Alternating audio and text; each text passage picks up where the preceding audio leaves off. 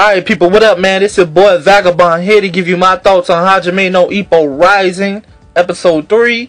Now, this episode, it was decent. It was decent for me. It might not be decent for some people, but um, overall, I thought it was a decent episode. You know, we got good comedy. I thought the comedy was good. We got, you know, some um character development. Well, not really character development, but you know, we're now shifting shifting focuses on Aoki and his title match for the Japanese title, and um, and then we got like a nice little um, um, how you call that talk between Kamogawa and um Ippo. So I thought all that was like pretty good, and that's what made it a decent episode for me. Now, the comedy, I thought it was funny. I really liked the way in the beginning when you had the three girls coming to visit Ippo at the house while he's trying to recover. You had you had Kumi, you had um who was that girl? Itakigaki, um little sister, and then you had the sports lady, the little sports writer lady. They were all visiting him. You know, um old boy's sister, she shows she shows up first, trying to you know attend to his needs or whatever. You know, Ippo he's just fucking laid out sleeping she's trying to sneak a little kiss in and shit. And then that's when Kumi shows up.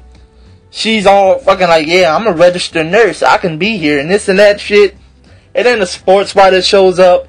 And this is like, damn, Ippo, get your ass up, bruh. You got these fucking fine ass three girls in your room, dog. Come on, man, get up. Get up. I was, I was, I was saying that shit. I was like, get up, man. But, um, I thought that was funny and whatnot you got the sports writer lady going through his shit. But um, yeah, that was a good moment.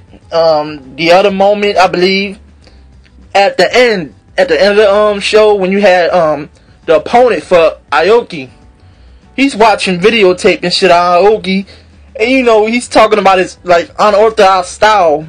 Basically, it's really a dirty style. This because you know Aoki man how he fights. Like he has no fucking skills. Like really, I mean, he got 10 wins and 6 losses. Like, come on, man. That just tells you right there. I mean, he's he's fucking bum status. Like, oh, but he's getting the title shot, though. But, um, yeah, you got the guy watching his videotape, and he's showing out, you know, he's looking at all the attack moves and shit that Aoki has. And Aoki, he's just fucking dirty to the bone, man. Like, dirty fighter, yo. Even going so far as to fake like he's dying in the ring. Like, I just thought that shit was funny though. But um, yeah, that was that was about it. But that was about it. You know, with the comedy, I thought that shit was pretty funny.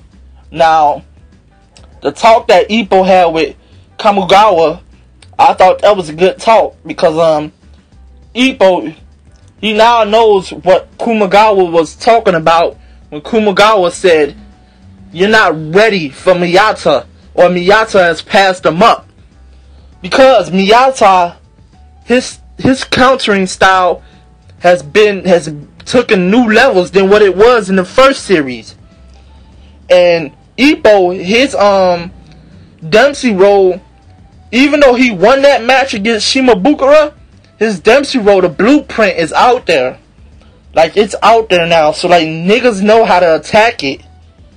And even though Ippo has made that Dempsey Roll into his like own, just from almost perfecting it. Ippo has to come up with something new now. He has to go to another style. He has to fall back on something else. Because if he was to face Miyata right now, he'll get fucking embarrassed because Miyata, even though even though what you can call it, Ippo has perfected that Dempsey Roll, Miyata that's what he he wants. He wants he wants Ippo to come in like that, just so he can counter the shit out of him all day, all day. we know how Miyata get down on a countering. So Ippo he understood what Kamogawa means.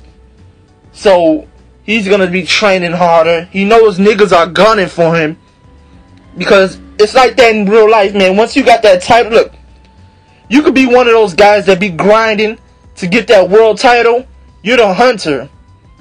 But once you got that world title now, now you become the hunted. You know, people are hunting for you now. So it's like a whole different spectrum. You have to be prepared. You have to be ready to defend your shit at all times. Because now you're not the one hunting. People are hunting for you.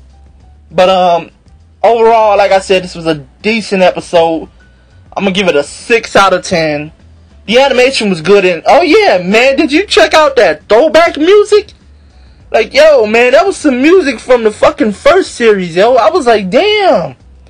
Cause you remember in the flashback, Aoki when he was having no, when Aoki he was getting off of work and he was talking about how, you know, um, Ippo and Takamura passed them up and shit, and it's like you know they take their shit serious and shit, and you just hear that throwback music though. I was like, damn, they must have put that throwback music back because you didn't hear it that much during the first two episodes. You heard a little bit, but this one it was definitely in there. So I think we do got that composer back from the first series, or they just might have just fucking copy and paste all that old shit and put it on this um series. But they do got some new shit though. I heard some new shit, but um, yeah, man. This is it. Uh, six out of ten. This is my Hajime no Ippo Rising episode three thoughts. Let me know what you think. Like, subscribe, and I'll holla.